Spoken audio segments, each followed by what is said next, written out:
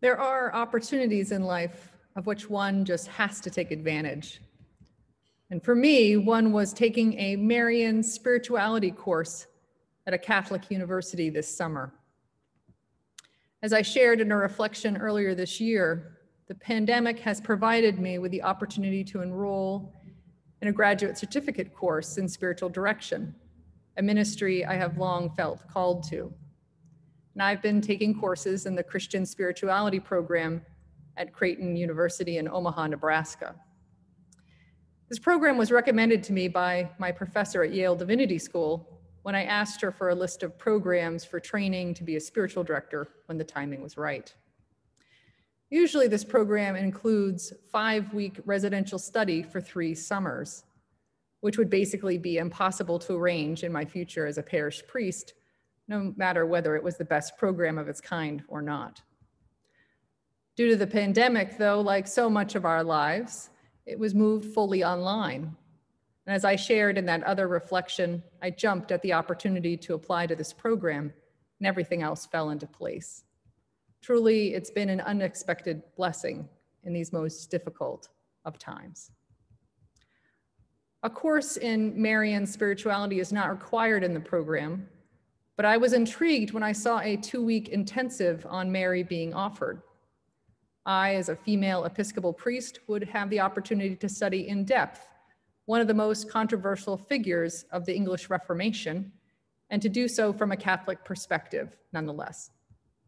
It was an opportunity of ecumenical dialogue and learning that I just didn't want to let pass by. As a person raised in the Quaker and congregational churches, Mary had a pretty limited time in the limelight. She was mentioned in Advent on the third Sunday, like today. And of course, she is in the manger with Jesus and Joseph on Christmas. It wasn't until seminary, though, that I came to understand what an incredible, courageous role model Mary is. Her ability and all her humble humanity to say yes to God's grand invitation is breathtaking. She has inspired me at key moments in my life to say yes to something good and holy that God was calling me to, and to not let fear or doubt hold me back. You might say, I wouldn't be here before you this evening on the anniversary of my ordination to the priesthood without sharing some of Mary's faithful, adventuresome spirit.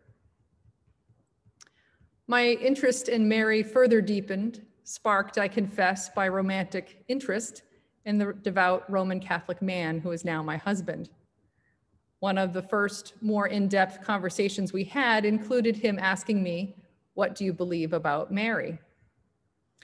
This question came in sequence of several theological questions, and by this point, I had caught on that he was going through the theological claims of the Nicene Creed one of the ancient foundational documents of the church.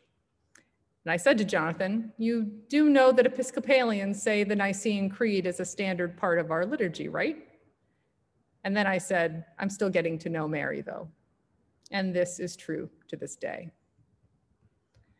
When I returned to seminary for the next term, like all other postulants for the priesthood in the Episcopal Church, I took a course in the historical foundations of Anglican theology.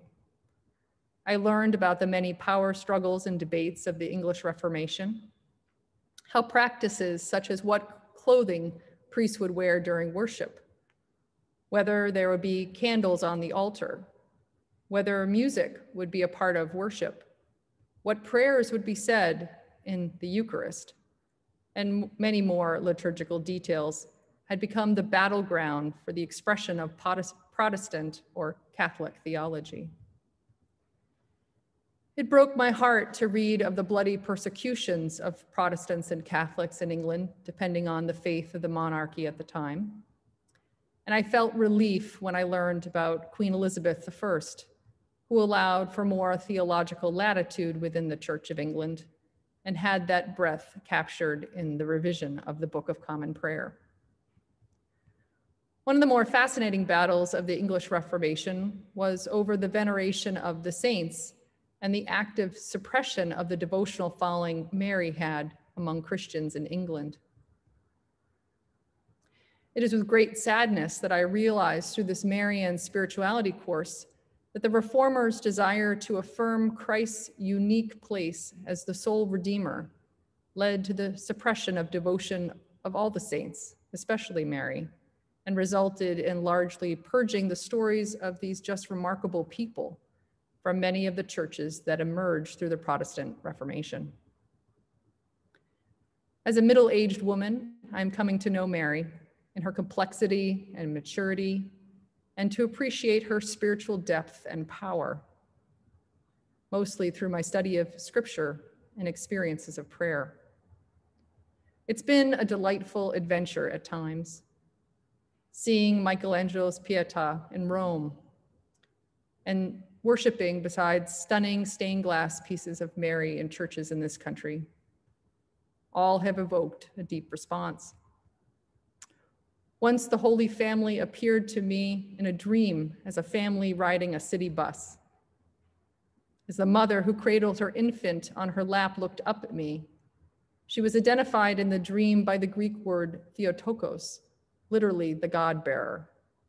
And then the dreamscape became resplendent, shot through with light, and enlivened with hymnody. It's one of those dreams where you just don't want to wake up. It was so beautiful. But for those who desire a greater feminine force within their experience of the church or of Christianity as a whole, you may also be delighted to encounter Mary, perhaps again or for the first time. I invite you to discover her for yourself this season and ponder her joy in your heart.